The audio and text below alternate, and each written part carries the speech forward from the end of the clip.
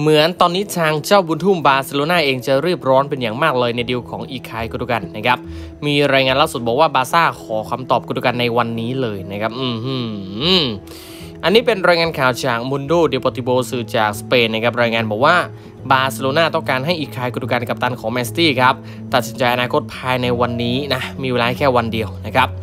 ทางแมนซิตี้เนี่ยเพิ่งเถลิงแชมป์3รายการเมื่อวันเสาร์ที่ผ่านมาครับและอยู่ระหว่างการเดินสายฉลองแชมป์กันอย่างหนักเลยนะเวลานี้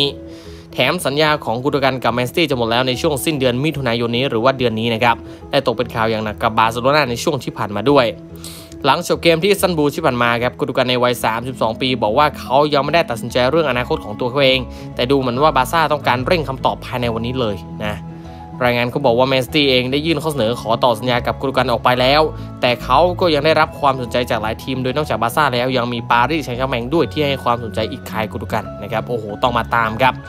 บาร์ซ่าอยากจะเร่งได้คำตอบของกุนโดกันนะครับเพราะว่าอยากจะได้แล้วครับอยากจะปิดดีลเพราะว่าจริงจังมากเลยนะครับติดตามตั้งแต่ช่วงตลาดซัมเมอร์หรือว่าตลาดหน้าหนาวที่ผ่านมาด้วยนะครับต้องมาตามครับว่าสุดท้ายแล้ว จะอยู่กับแมนซิตี้ต่อไปหรือว่าไปจบที่บาร์เซโลนาหรือว่าไปทีมอื่นนะครับสำหรับอิลคายกุนโดกันนักเตะคนสำคัญของแมนเชสเตอร์ซิตี้